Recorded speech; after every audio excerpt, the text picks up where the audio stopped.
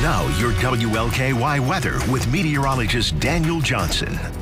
And lucky for us, the weather has been quiet recently, and it's going to stay that way for the next several days. Here's a live look outside downtown Louisville. Very, very nice view out there, especially because of this.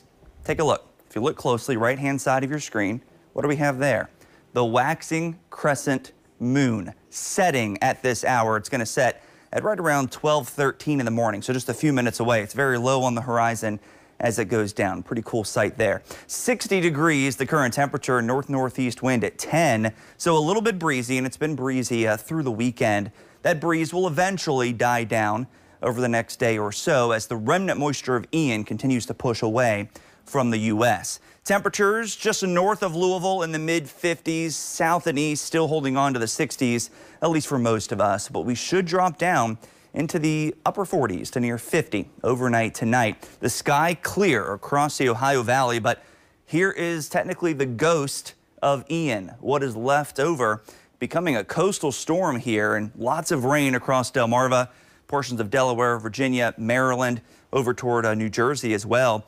Coastal flooding, strong winds and heavy rain likely there. But here, high pressure and control, so clear skies. 48 degrees at forecast low temperature here in town. A little bit cooler outside the city.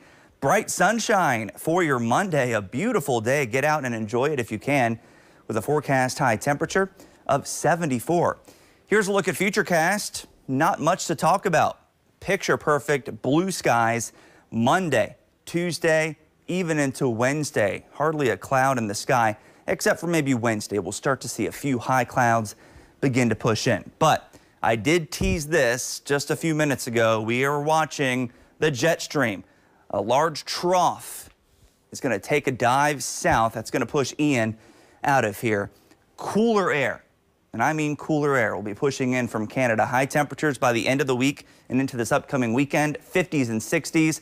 Low temperatures in the 30s, widespread 30s. And what that trough does, that dip in the jet stream, well, it's going to be warm this Thursday coming up. We're going with 80 degrees, and then behind that cold front and that dip in the jet stream, dragging that down the cooler air, we go from a high of 80 Thursday to 62 on Friday.